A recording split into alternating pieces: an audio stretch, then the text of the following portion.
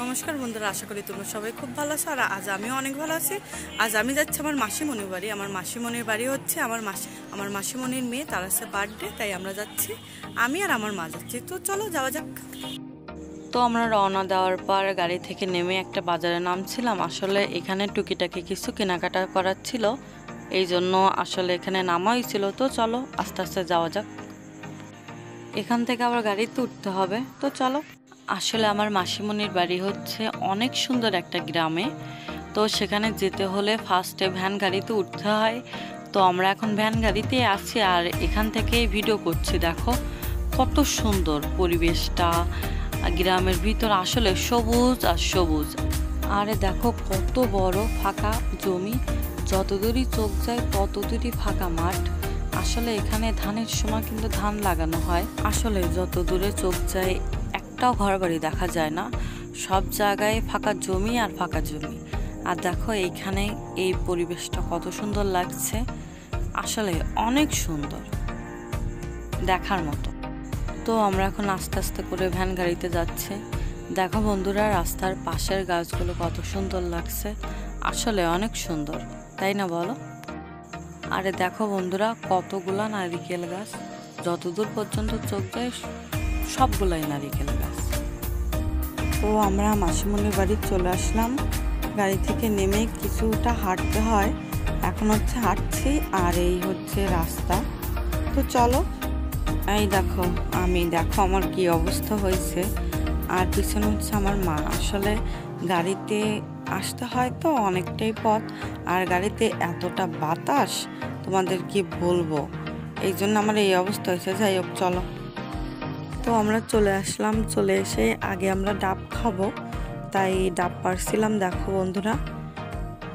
আসলে শহরে যে একটা ডাবের মানে কি পরিমাণে দাম, সর্বনিম্ন পঞ্চাশ টাকা। তা পঞ্চাশ টাকায় পাওয়া যায় না মানে আশি টাকা। আর কি বলব, এই জন্য গাছে ডাব দেখে আর আমরা বসে থাকলাম না। মানে আমি আর আমার ভাই পারছি আসলে আমি পারছি না, আমার ভাই পারছে আর আমি দেখছি।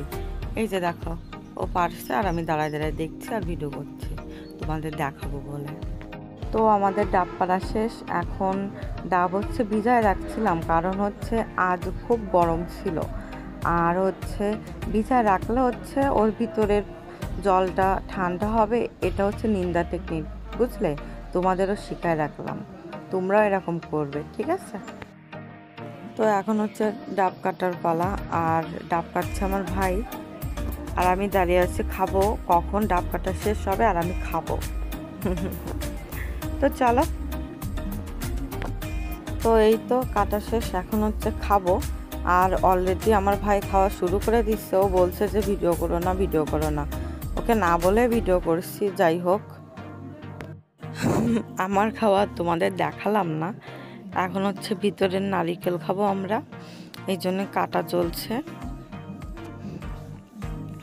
ভিতরের আসলে আমার এই ডাবের জল থেকে, জলের থেকে ভিতরের এই নারিকেল খেতে বেশি ভালো লাগে। দেখো কত সুন্দর। তো এখন খাব। কার কার খেতে ইচ্ছে হচ্ছে বলো? আর এই দেখো এদিকে বার্থডে ডেকোরেশন চলছে। তো অবশেষে এই দেখো আমাদের বার্থডে গার্ল। এখন হচ্ছে কেক কাটিং হবে। আর এখন সবাই ছবি তুলতে বিজি দেখো সবাই কেকটা কত সুন্দর, আমার কেকটা কিন্তু স্পেশালি খুবই পছন্দ হয়েছে। আসলে অনেক সুন্দর লাগছিল।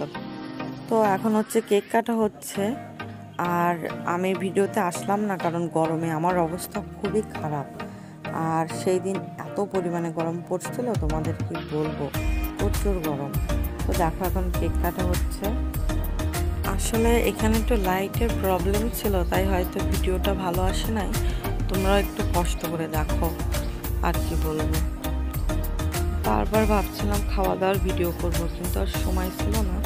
আসলে আমরা রাত্রে ফিরে আইছিলাম, এই জন্য তাড়াহুড়োয় আর ভিডিও করা হয় নাই।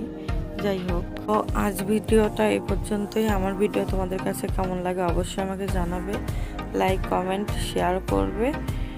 আর প্লিজ চ্যানেলটা সাবস্ক্রাইব করবে। যারা এখনও সাবস্ক্রাইব করো নাই প্লিজ প্লিজ সবাই সাবস্ক্রাইব করো।